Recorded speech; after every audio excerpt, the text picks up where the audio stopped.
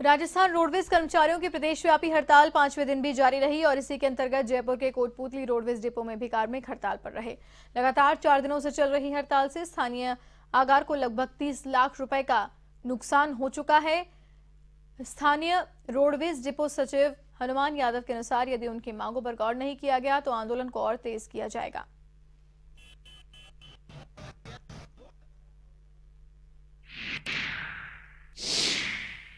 जुलाई को हड़ताल करके एक समझौता लागू किया था, यूनुस खान मुख्यमंत्री जी ने।